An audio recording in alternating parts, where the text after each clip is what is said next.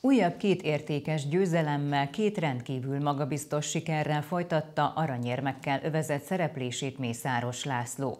A DVTK világklasszis erő emelője időrendben először a spanyolországi világbajnokságon győzött, majd két hét elteltével az angliai Nottinghamben óriási előnnyel nyerte meg saját kategóriáját és abszolút kiírást is.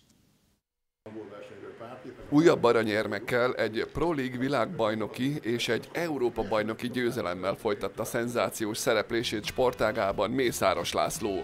A DVTK sokszoros világcsúcs tartója egy spanyol kisvárosban feküdt a súlyok alá, és mind saját kategóriájában, mind pedig az abszolút értékelésben maga mögé utasította a mezőnyt. Igazából egy felkészülő verseny volt, hogy hol tartok a tavaszi felkészülésben.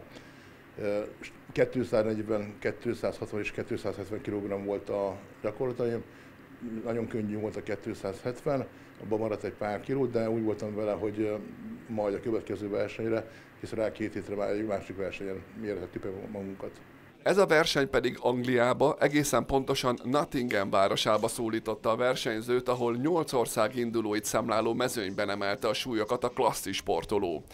272,5 kg-mal újra mindkét kategóriát megnyerte méghozzá komoly előnnyel elérve a dobogó tetejét, pedig a nyomáshoz használt pad az egész mezőnynek nehézséget okozott.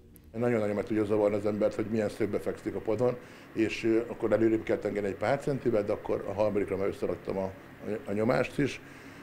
Én azt gondolom, abban is benne maradt egy pár kiló, legalább 5 kiló abban a nyomásban, de nem volt értelme tovább felmenni, hisz így is 50 kilót vehetem a másodikra. Pár nap eltéréssel világ és Európa bajnoki aranyérmet is begyűjtött tehát a DVTK versenyzője. A vele készült teljes beszélgetést sportműsorunkban láthatják.